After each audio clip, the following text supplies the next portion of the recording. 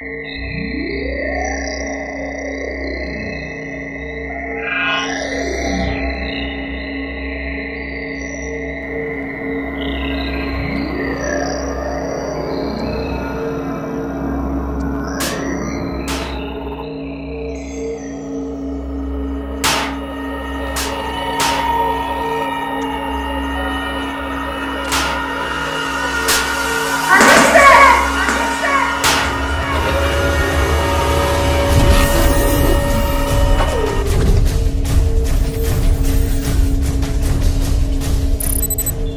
Alone between danger and shadows, she tries to find the truth.